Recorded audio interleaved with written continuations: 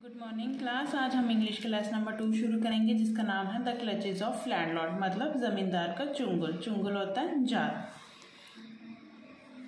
it was spring time and a young shepherd name Tom was standing his herd मतलब कि एक बसंत का टाइम था और एक छोटा बच्चा जिसका नाम टॉम था, वो क्या था? शेपर्ड शेपर्ड होता है चरवाहा।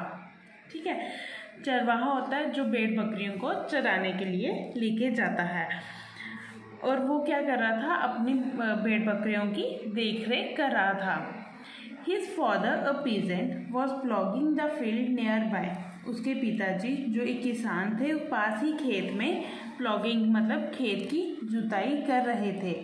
Suddenly mister George the landlord came riding that way towards Tom अचानक जो मिस्टर जॉर्ज जो ज़मींदार थे राइडिंग करते हुए घोड़े पे सवार होकर टॉम की तरफ़ आगे आ रहे थे। His pot belly was bouncing up and down उन, वो काफ़ी मोटे थे और उनका जो पेट था वो ऊपर नीचे उछल रहा था। He had an air of pride about him उनको अपने बारे में बड़ा ज़्यादा घमंड था। वो अपने आप पे बहुत ज़्यादा गर्व करते थे।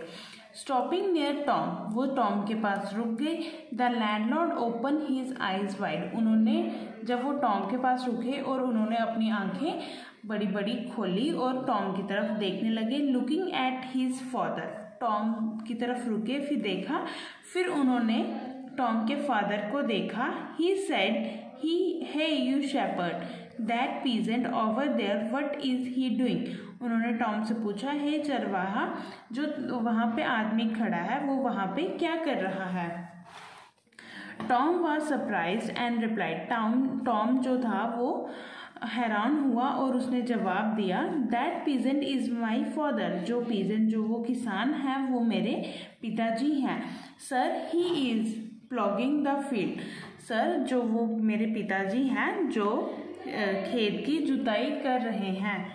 Why does he need to plough it आज the landlord landlord ने पूछा, उनको क्या ज़रूरत है उस खेत को?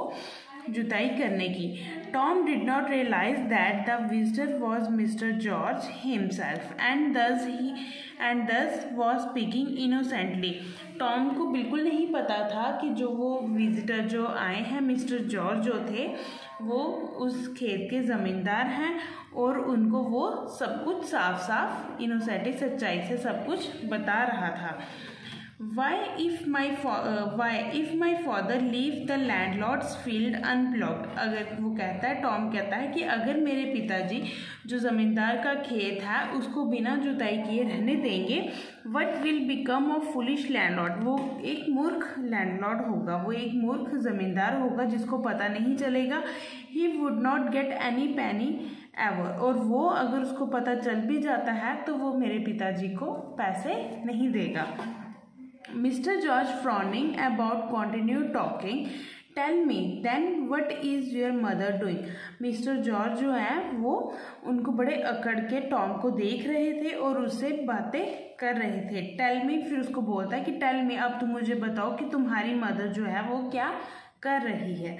ओके स्टूडेंट्स अब हमने यहाँ तक ये पढ़ लिया है। कल हम इसका आगे का पढ़ेंगे।